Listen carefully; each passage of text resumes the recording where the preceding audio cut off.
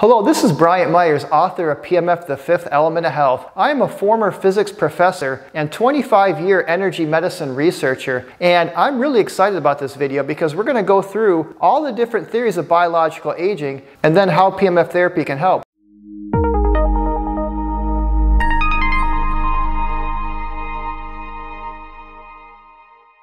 So let's get right into it. So in 1882, August Weismann came up with this wear and tear theory of aging. And what he said was that kind of like a car that gets wear and tear with use, we just through life accumulate a lot of wear and tear damage through just the stresses of life and the process of aging. So the first theory within wear and tear is the free radical theory, which is one of the most popular theories of aging. And what this theory says is through just normal respiration of producing ATP, we create these free radical compounds that cause oxidative stress to our body, much like how a car will rust or how an apple will brown if left out. And that is also oxidation and free radical damage. So, from this theory, our body ages through this free radical damage, this accumulation of damage from free radical wear and tear, which again is kind of like a rusting to the body.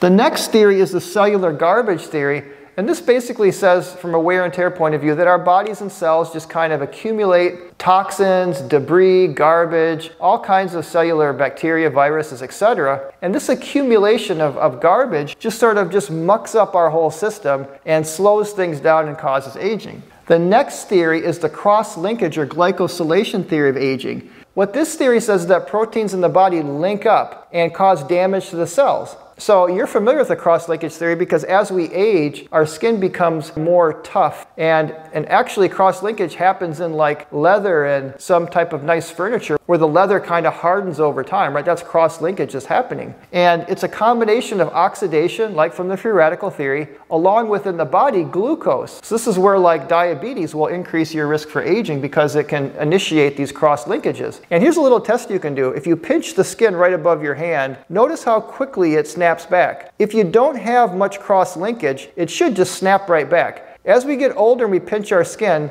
that little pinch mark will kind of stay there longer due to cross linkage. So just as our skin makes us look older through cross linkage, if we could see our internal organs, they would also look older through cross linkage damage. The next theory is the mitochondrial decline theory. And what this says is that the number of mitochondria within our cells declines with age. And because the mitochondria is the powerhouse of the cell that creates energy, if we have less mitochondria, we have less energy. We have less energy for cells to divide, we have less energy to detoxify, we have less energy for our cells to perform their normal daily function. And as a result, we grow old and die, you know, due to this decline in energy or mitochondria.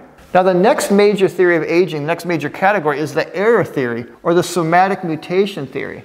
And what this says is we talked about the Hayflick limit. Remember that every time a cell divides, you know, the telomeres get shortened and we have a Hayflick limit. Well, there's another problem. Every time the cell divides, there can be errors or mutations in that division, which then creates accumulated error. And this is one of the major accepted theories of aging. Now, the program theory of aging is the next major, major category, and this is something we kind of talked about already in, in video number one with the Hayflick limit. And what this theory says is that we're kind of programmed to die. We're programmed, aging is programmed, and that death is a natural process of evolution. That when we go beyond sexual maturity, our ability to produce offspring declines with age. Therefore, nature kind of weeds us out, you could say. Now, that's kind of a cold view of, of, of nature and evolution, but this program theory of aging, like I said, the Hayflick limit has a lot of evidence to suggest that our cells only divide 40 to 60 times.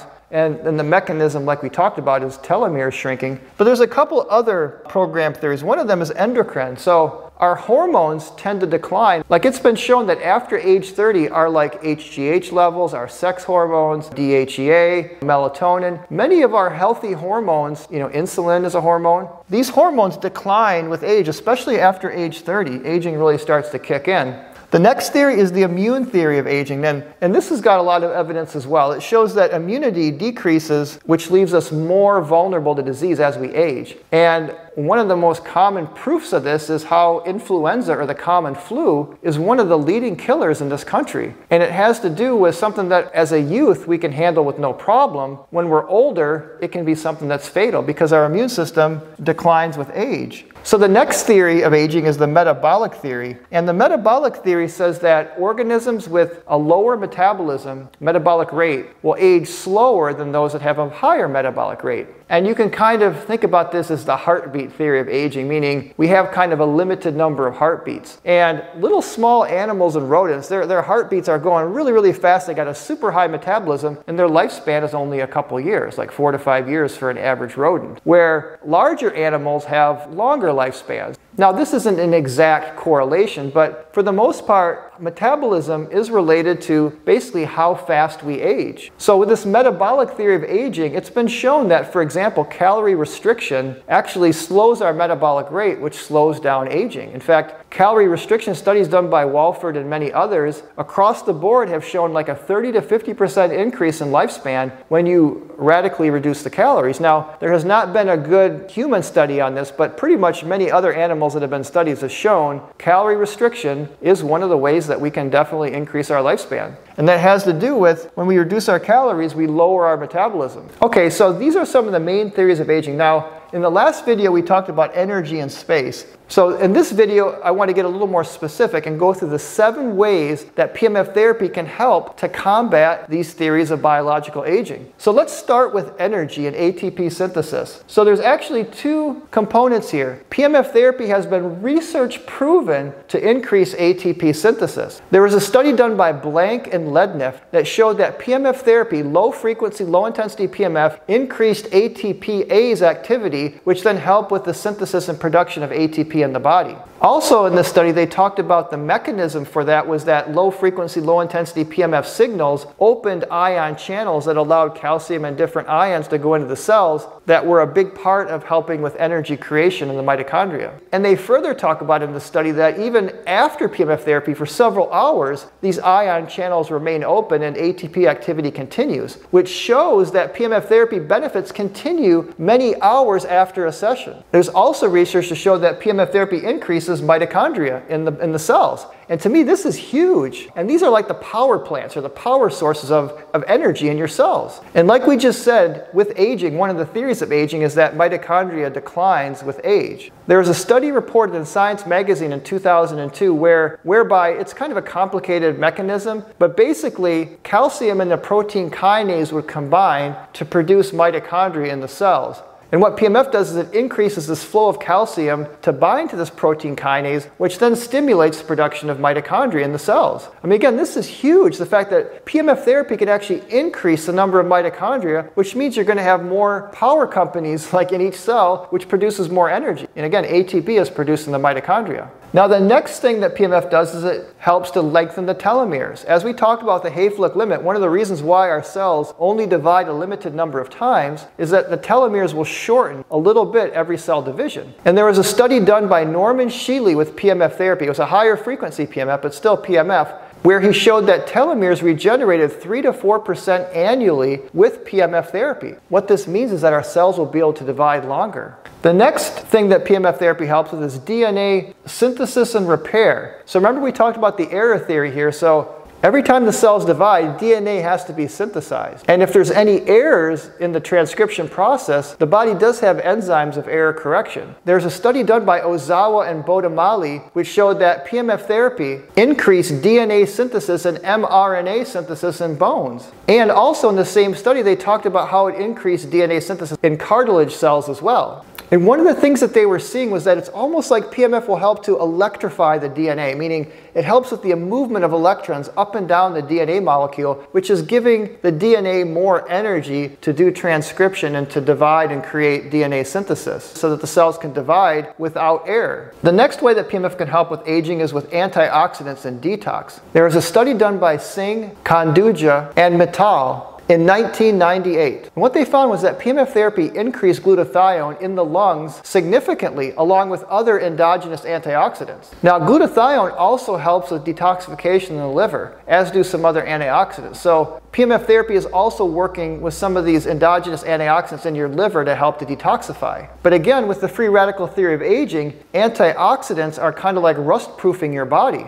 So increasing antioxidants in the body, PEMF therapy is definitely helping to combat aging. The next thing that PEMF helps with is improving blood sugar and controlling blood sugar levels in the blood through its action on insulin. And, you know, we've seen a lot of testimonials of people that have diabetes control their blood sugar with PEMF. And like I said, the cross-linkage theory of aging needs sugar to create those cross-links with the proteins and oxygen, oxidation. So when we can limit the amount of sugar in our blood, we are slowing down the aging process. So people that are diabetic are, do experience an accelerated aging and they have a lower lifespan. So PEMF therapy, by helping with blood sugar metabolism, is taking the sugar out of the blood and helping the cells to be less insulin resistant. So that way sugar can get into the mitochondrium to be burned as energy instead of floating around in the blood and causing cross-linkage and other types of damage. The next way PEMF can help is with enhanced immunity. There was a study done by Whitney in 1972 that showed that PEMF therapy will increase the cell division of lymphocytes or white blood cells in culture. So it was almost like PEMF was energizing these white blood cells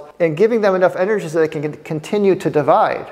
And without PEMF therapy taken out of the body, these blood cells just die. So we have seen some great benefits of PEMF with infections and different types of infectious diseases, and we know PEMF definitely helps to boost the immune system. And so, like I said, one of the theories of aging is that as we age, our immune system declines. So, by improving immunity, it's a really big benefit of PEMF. And finally, and we got number seven is stem cells. There was a study done by Zhao and Jing in China in 2002 where they found that PEMF therapy increased stem cell production by 40 to 59%. That's huge. And stem cells, again, help to regenerate tissue. That's why there's all this talk about embryonic stem cell therapy because when you give the body more stem cells, you have the ability to regenerate your, your tissue more. And as we age, our stem cells decline because we should have a normal reservoir of stem cells in our tissues so that way if we hurt ourselves, the stem cells will differentiate and create new tissue. So again, this is all about regeneration. PEMF is helping the body to heal and regenerate,